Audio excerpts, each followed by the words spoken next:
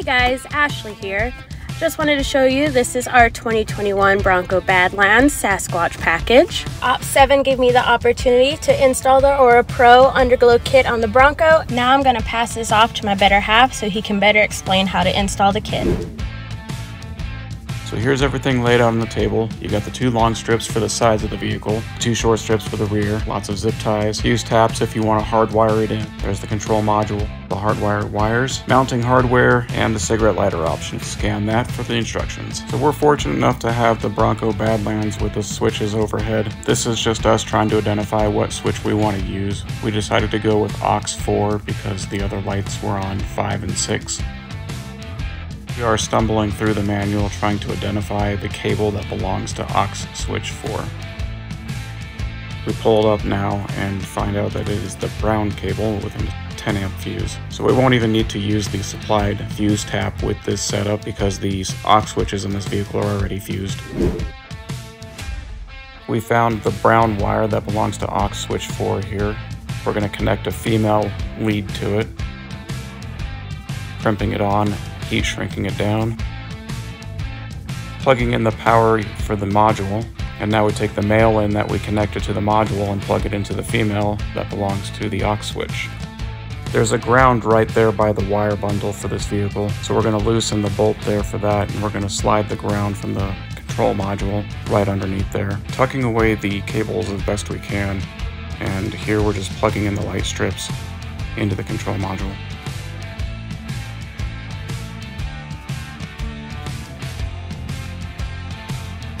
Put some electrical tape around the edges and over the holes on the control module because it's not really weatherproof, but this should be good enough in the engine bay. Now that we've got it all connected together, moment of truth, we turn on aux 4, and there it is.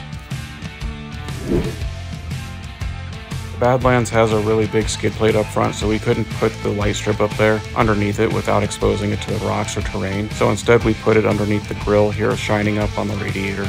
This is the back of the vehicle looking straight up above the muffler. We used a two-part epoxy and actually glued neodymium magnets to the back side of the light strips. That way the magnets just hold the light strips onto the body of the Bronco and we didn't have to screw holes into the body. They're really strong, you get them at Home Depot, packs of six, really cheap. The side strips we put in between the rock rails and the frame. There's a nice cubby up there, holds them really well. Now this is where we ran the cables along the top of the frame, in between the body and the frame, all the way up to the front wheel well to run the cables into the engine bay again. Once we got the cables cleaned up and tucked away, Ashley connected the app via Bluetooth and verified everything was working the way it should. Alrighty, now that the hard part is done, go ahead and download that OPT7 app that's available on Google Play and Apple Play. Once you get it open and running, you will go ahead and connect via Bluetooth. Go ahead and click which vehicle you want to get started.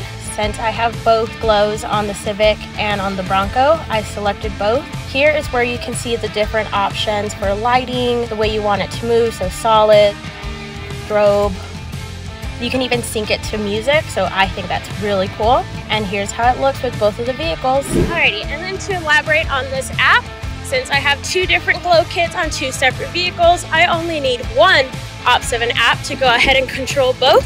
So have fun and light it up.